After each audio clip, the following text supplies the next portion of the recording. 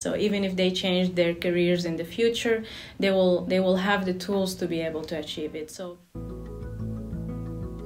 my name is Hana Kara Ramirez. I'm from Khartoum, Sudan. I moved to the US uh, almost seven years ago. I'm the project manager of the Westside Evolves Transformation Project.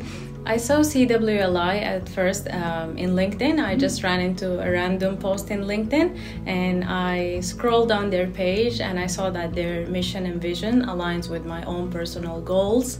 And I really liked how empowering they are to women and um, they are very focused on uh, having a diverse community and advocating for women to have lead leadership uh, roles and have voices in the community.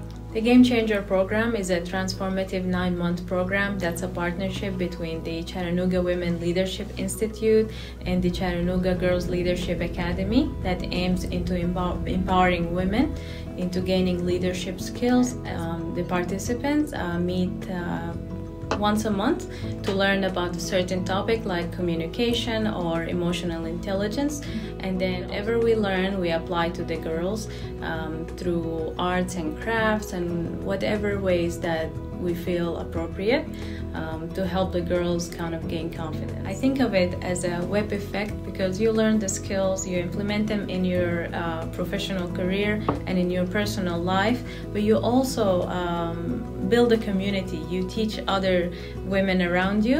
And the other thing with the Game ChangeHer program, it addresses diversity and inclusion. It addresses the gender gap, making sure women voices are heard and they have an impact in the society.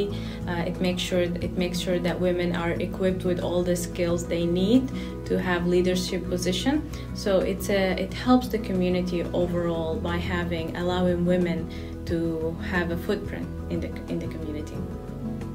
The challenges with being a mentor are challenges I didn't expect. I had a different set of challenges in my, my mind, but the which is part of part of the challenge is you see surprises every time you interact with the girls.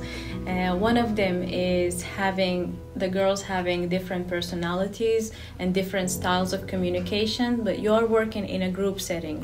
So you want to make sure you have the patience, empathy, and, and create a safe environment uh, which um, each one of the girls is able to express herself and feel safe. Uh, they have different personalities. Some of them are quieter, some of them are outspoken. Uh, you want to make sure there's an environment for both of them to contribute. That's one of the challenges. The other challenge is finding the right balance between guiding my mentees and also allowing them the opportunity to explore on their own. So I don't want to tell them you need to do this and this and that and that. I need to uh, make them realize and come up with their own solutions to things. So finding that balance balance could be very challenging. Um, my favorite part of the Game ChangeHer program is witnessing the growth and development of the girls, uh, seeing them gain the confidence and communication and um, uh, knowing that they can achieve all their dreams has been really fulfilling.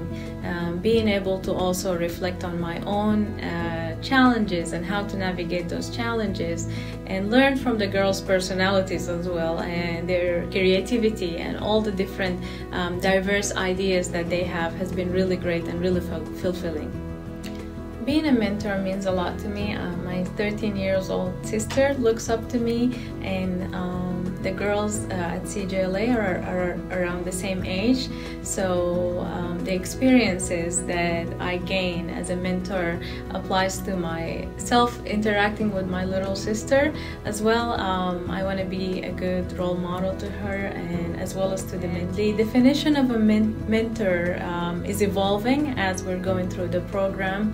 I'm learning um, to kind of interact with different uh, personalities um, from different backgrounds, learning to gain the flexibility and understanding of how to be a better mentor.